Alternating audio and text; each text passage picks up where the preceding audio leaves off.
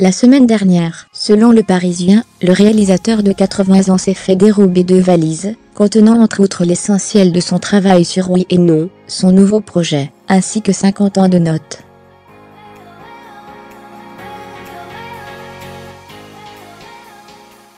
Le tournage devrait être retardé de près d'un an. Les quelques détracteurs du réalisateur français s'en amusent sur Twitter.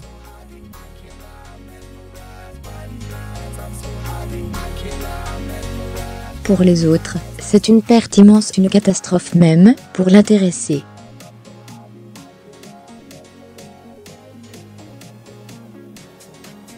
D'après nos confrères du Parisien, Claude Lelouch s'est fait dérober la semaine dernière de sac, qui contenait entre autres l'essentiel du scénario de son prochain film, Oui et Non,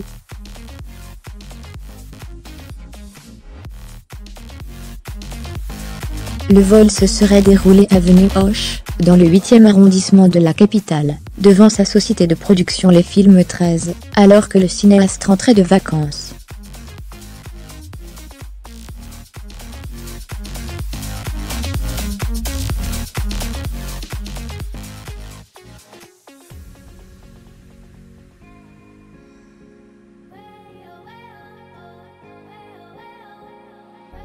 Pire, ont également été dérobés ses cahiers de notes. Riches d'un millier de pages, ces derniers contiennent ses notes et observations accumulées depuis plus de 50 ans.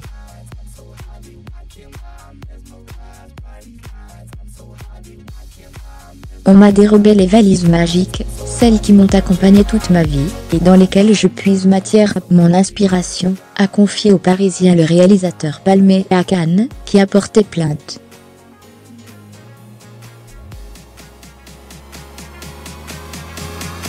Dans cette mésaventure, Claude Lelouch aura également perdu l'équivalent de 15.000 euros en différentes devises, ses clés, ses papiers et sa montre.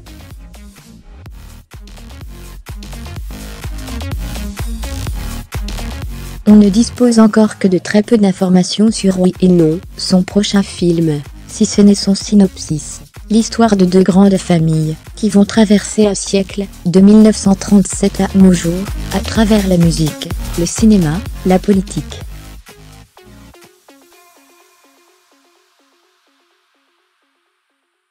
Une fresque humaine très lelouchienne, à première vue, qui devrait tout de même voir le jour.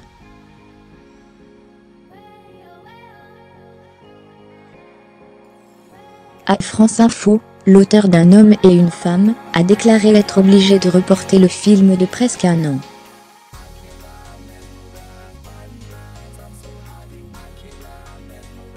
Astérisque